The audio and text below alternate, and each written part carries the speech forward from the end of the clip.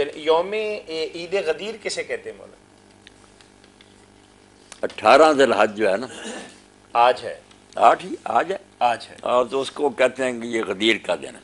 तो इसको ईद भी बना लिया मैंने इस जुमा में बयान किया था ना कि ये ईद जो कहते हैं ना ये तो कोई नहीं ना इसका कोई सबूत है।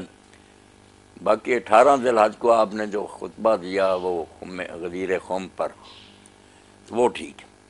मन कन तो मौला फाली मौला इन्नी तारकुन फिक्म वो बात दुरुस्त। कि हज से लौटते वक्त ना जोफा से तीन मील के फासला पर बस्ती वहाँ आपने अच्छा भाई का सवाल ये है कि आज ईद गदीर भी है अठारह जिलहज की मुनासबत से और इसी दिन हज़रत उस्मान गनी रज़ी अल्लाह की शहादत भी हुई है। तो एक मुसलमान के लिए खुशी का मौका है या शोक की बात? है? नहीं, ना शोक की बात है, शोक भी अल्लाह ताला नहीं चाहता कि क़यामत तक चलता रहे। दुआ करना, इन्ना लहराजिन ये जब भी वाक़ को ऐसा सदमे वाला याद आए तो करना चाहिए। बहुत बड़ा सान है, हज़रत उस्मान रजीम की शाद। भी अल्लाह उनको जन्नतफरदौस में आराम काम दे। मगर ये बात सही नहीं कि अठारह दिलाज को वो शहीद हुए। इसमें जो तहकीकी बात है, मैंने कह दिया था, मगर हवाला अगले दिन मैं दे दूँगा कि बारह दिलाज औस तो अयाम तशरीक है कि ये तशरीक के जो तीन दिन है ग्यारह बारह तेरह इनमें से जो दरमियाना यानी बारह ये आपकी शाद का दिन इसमें हज़रत उस्मान शहीद किए गए। उसी दिन हो गए थे जिस दिन मतलब जख्म उसी दिन। या बाकी साहबा कराम की तरह जुमा का दिन था दिलहज की बारह थी पहला ही वक्त और मौका पर ही शहीद हो गए। हज़रत अली और उमर की तरह चंद दिन गुजारे नहीं है जख्म नहीं नहीं उसी वक्त शहीद जबा जो कर दिया गया। ठीक है। अच्छा मैंने बात सुन ली आपकी बिल्कुल ठीक है आपने फरमाया कि जिसका मैं मौला हूँ उसका अली मौला। अब आप पूछते हैं कि हज़रत अली को मौला कह सकते हैं? अब जिस माना में हजूर ने मौला कहा ना उस लिहाज से हजूर को भी मौला कह सकते हैं। वो तो कहता कोई नहीं। मैंने नहीं सुना कोई आदमी जो इस हदीस को मानता है मानों में जो आपके दिन में किसी ने कहा, मौला मोहम्मद, मौला रसूला, ये नहीं कहते रहो हालाँकि पहले तो आपने फरमाया कि जिसका मैं मौला हूँ, पहले मौला को तो बाबा कहते नहीं। हज़रत अली को मौला कहने पर ज़ोर देते, असल में दिल में चोर है। ये वो मौला नहीं कहते जो हजूर ने कहा, वरना पहले हजूर को मौला कहते और हम जो लोग हैं, सैयद कहते हैं सैयदना मौलाना? हमारे सैयद और हमारे मौला। मगर ये बात कहने वाले लोग जो ना, जो आप पूछ रहे हैं, ये नहीं हजूर को मौला उस माना इनका मौला और खुदा। ये उस माना जैसे है ना, अल्लाह मौलाना, अल्लाह हमारा मौला। ये वो मौला कहते हैं मौला और, ये वो खुद खुदा ही था। बंदा तो देखने में नज़र आता था अली खुदा था। और कितने अब झंडे लिए फिरते हैं। अल्लाह अली अल्लाह अली अल्लाह अली। अली अल्लाह अली अल्लाह बाकायदा घरों पर लिखा हुआ। जहाँ लोगों ने जला भी दिया घरों का। तो ये मौला जो अगर समझता ना कोई आप खुदा है तो काफिर है। फिर वो हदीस का क्या पूछता? और अगर हजूर बड़ा मौला मानता तो सर माथे पर। बिल्कुल वो ठीक है। वो कई हजूर का मौला जो है ना वो एक महबूब कि जिसका मैं महबूब हूँ अली भी उसका महबूब है। मौला का जब उन्नीस बीस माने है अरबी ज़ुबान में। गुलाम को भी कहते हैं आज़ाद करने वाले को भी कहते हैं चचा के बेटे को कहते हैं रिश्तेदारों को कहते हैं दोस्त को कहते हैं। दोस्त का माना लें तो फिर ठीक कि जो। जो मुझसे मोहब्बत रखता उसे अली से भी मोहब्बत रखनी पड़ेगी। जिसका मैं महबूब हूँ अली भी उसका महबूब। सही माना तो यह है। और इसीलिए हजूर ने खुतबा दिया था, क्योंकि यमन से वापस आकर कुछ लोगों ने शिकायतें की थी कि हज़रत ने हमारे साथ ये ज्यादती की है। तो हजूर को दुख पहुँचा और आपने फरमाया, अगर मुझसे मोहब्बत करते तो अली से क्यों नहीं कर? बात मोहब्बत की थी, ना खिलाफत की, ना खुदाई की। मगर अब कुछ लोग इस हदीस से खिलाफत सीख करते हैं और कुछ साफ़ खुदाई बनाते हैं कि मौला अली, वो खुदाई है हम्म? मौला अली मल पीर मौला अली ये वो मौलानी जो हजूर ने कहा, वो महबूब।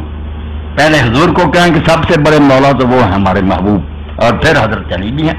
दूसरे नेक लोग भी जो जो हैं उनमें से बहुत मौला। हजूर ने खुद हज़रत जैद बिन हारसा के बारे में कहा कि जैद हमारा मौला। अपना मौला हजूर ने उनको कहा ये तो हमारा मौला। तो वसी के एतबार से आपका क्या कॉन्सेप्ट है? आपने एक तो हदीस से बयान हाँ। बयान कर दी। एक ये फिर वसीयत की बात कर दी। हदीस सकरान मुख्तर मैं इसके बारे में अर्ज़ करूँ बाद लोगों में ये भी है उन्होंने रिवायतों में दर्ज कर दिया कि ये हजतुलवदा के मौका पर भी आपने ये बात कही। मगर वो नहीं दुरुस्त बात। ना ये सही सिर्फ़ ये कि। गदीर कौम के। मौका पर ही आपने ये बयान फरमाया। और इससे हमारे जो शिया दोस्त इस्तलाल करते हैं उस पर मैंने इनसे कई बात कहा कि अगर मौका बात का कि अहल बैत से भी तमसुक करो, या ये खिलाफत का मामला तो ये मैदान अरफात में आप करते, जहाँ सारा अरब जमा था, वहाँ बयान करते। अब अब सारे लोग कोई यमन को चले गए, कोई इराक किधर चले गए, इधर तो शाम वाले या मदीना वाले ही आए, उनके सामने आपने ये खुतबा दिया। वो मौका आपने क्यों मिस कर दिया जब सारी उम्मत वहाँ जामा थी? वो ये वहाँ ये हिदायत फरमाती। वहाँ जो सही हदीस वो आप देखते हैं, सही मुस्लिम में अबू दाऊद में, आपने सिर्फ़ किताब उला का कहा कि मैं तुम में एक चीज़ छोड़ता हूँ जिससे किताब हाँ जो है ना सुन्नत वगैरह का वो भी हाकम वगैरह की रिवायतें बस सारे ही देते हैं ना। कोई नहीं असल बात जो थी मैंने कि तुम मैं किताबुल्ला छोड़ रहा हूँ इसको पकड़ कर रखोगे तो गुमराह ना हो ये जो खुतबा गदीर का इसमें भी जो है ना तमस्सुक की बात थी हिदायत लो और नूर है वो सारा कुरान के बारे में। अहल बैत के बारे में आपकी बात ठीक है आपने सिर्फ़ ना हुसन सलूक की बात की अल्लाह ताला ने आप पर मुनकश कर दिया था कि बाद में लोग जुल्म करेंगे। उजक्र रुकमल्ला फ़ी अहल बैत। ये बात कही कि मैं तुम्हें अल्लाह का खौफ दिलाता हूँ मेरे अहल बैत के बारे में गलत तरफ़ से इख्तियार न करना। हिदायत की बात जो ना जहाँ आता ना बाद ये मसू करोगे वो भी नहीं सही साबित हुई नहीं। बात जो ना ठीक करनी चाहिए।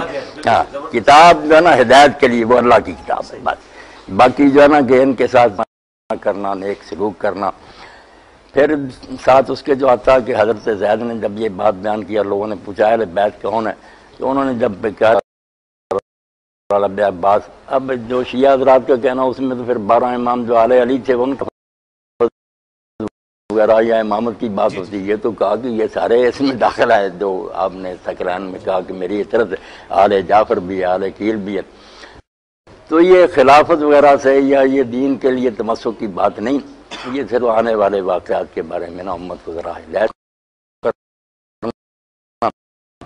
वो जैसे अलामा मनावी लिखते हैं कि उम्मत ने उसके बिल्कुल बरक्स किया। जो आपने ताकीद की ना उसके उल्ट किया कि कुछ शहीद कर दिए गए कुछ कैदी बना लिए गए किसी को दर बदर फिराया गया। जुल्म तो मोहम्मद अली भाई बहुत किया ना। हाँ। आपकी उस वसीयत पर अमल ना किया तो जक्कर मुलाबाद जुल्म जो कर सकते थे ना वो किया।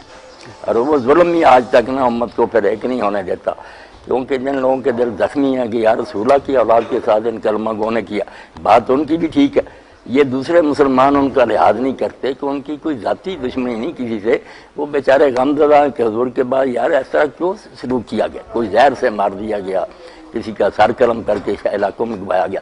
अब ये बात तो जल सौद ही है। हाँ हम हज़ार पर्दा डाले जल तो जलता है कि कलमा गो का ये काम नहीं था।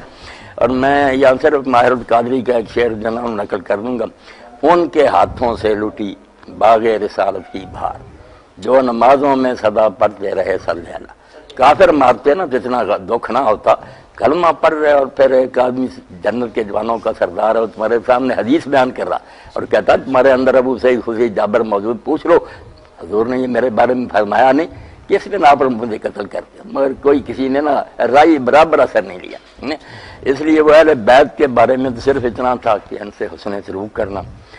किताबुल्ला सिर्फ़ हिदायत के लिए। ठीक है। हाँ। अच्छा